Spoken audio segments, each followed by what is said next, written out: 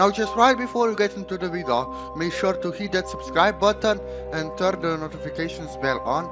Without further ado, let's get into the video, shall we?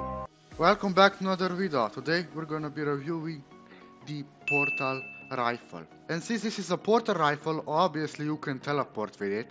It's a really fun weapon to use. For a heavy, it has really fast fire rate and it's 1 to 3 shot kill, meaning in average it's 2 shot kill.